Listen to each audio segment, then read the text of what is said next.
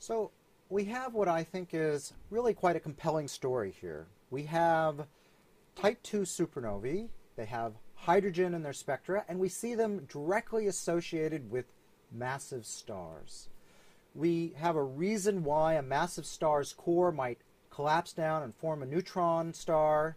We see the neutrinos that you expect to happen in that process actually detected in the one case where we might detect it. And the amount of energy liberated uh, seems to correspond to roughly the energy that uh, a supernova has associated with it.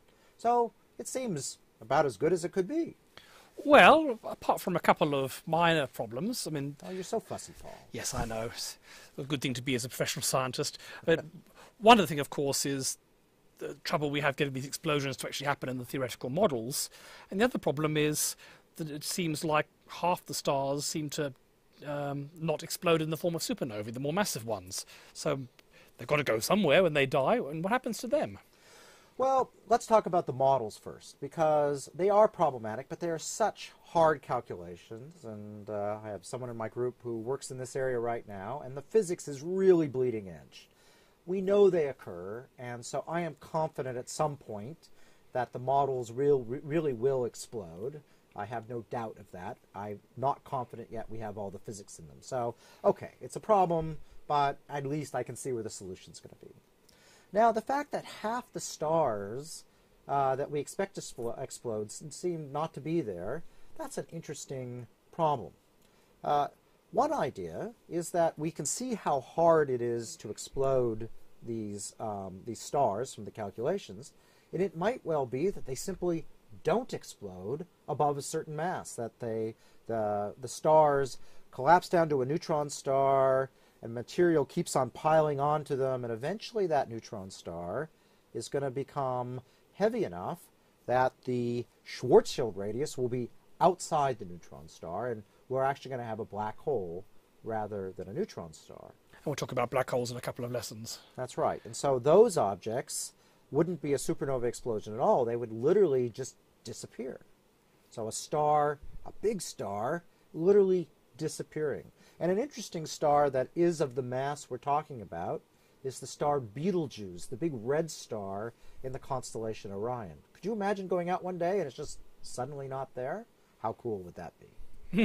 in a rather creepy sort of way. Ah, uh, yes.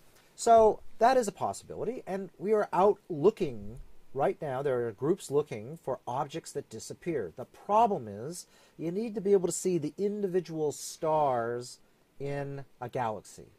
And it turns out you can't do that with a backyard telescope, which you can find the stars when they explode. Instead, you need to use the Hubble Space Telescope that can individual, individually identify stars.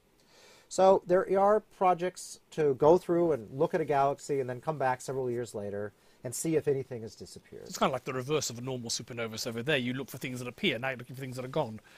But the problem, of course, is there's only a few galaxies nearby enough, and you're only looking at a tiny part of the galaxy at a time because the Hubble Space Telescope can't see the entire galaxy. It's too small. So uh, it will. It's not clear whether or not this will bear any fruit. If we do it long enough, uh, it will. But the Hubble Space Telescope only has a few years left in it until it just gets too old to work properly. But there's another problem which is much less exciting. It's dust. If there's anything in the world that I hate, it's dust. Well, I've always been quite fond of it myself. Uh, yeah, well, it just messes up everything I do. It's been shown that in these red giant stars, before they explode, they have winds of particles coming out. And in those winds, dust can form. You're a long ways away from the star, and it turns out you can get dust. And what's dust do?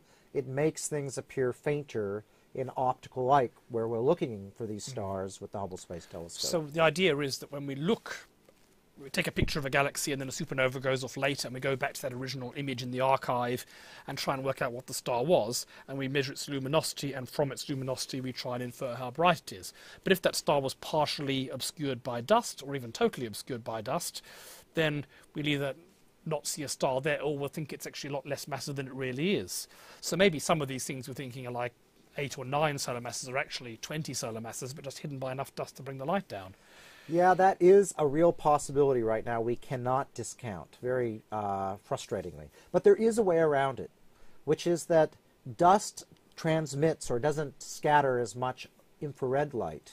Now the problem is, is the Hubble Space Telescope is a pretty small telescope. It's not very good at taking uh, detailed stellar images of nearby galaxies. But here at ANU, uh, we've built a add-on instrument uh, for the Gemini telescope, along with the Gemini Observatory, which uses adaptive optics on an 8 meter telescope over a big field of view, almost the same as Hubble's, so that we can take really precise uh, images of nearby galaxies down to the stellar level.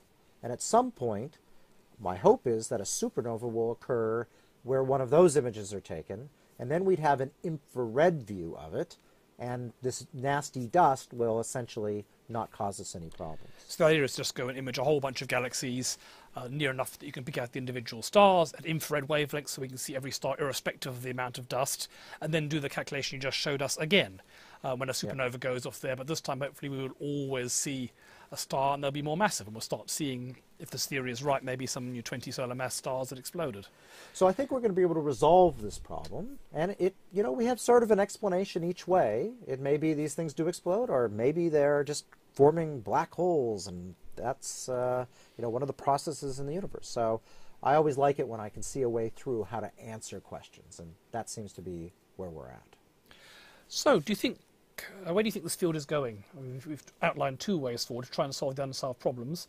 Uh, what else is going to be new in the whole field of supernova research over the next few years, do you think?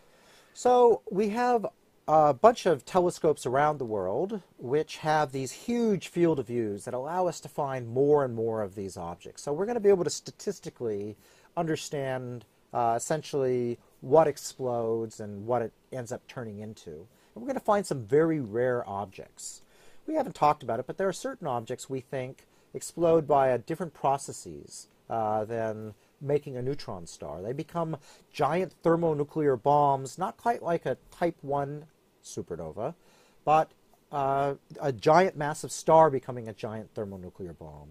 And you could imagine that instead of having a 1.4 solar mass bomb, you had maybe a 100 solar mass bomb.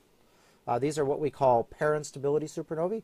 Those would be really exciting and interesting explosions to look at, much more powerful than anything we normally see. We have a hint that those things are out there in the universe, and over the coming, uh, you know, coming decade, we should see enough of the universe to find what we think are very rare objects.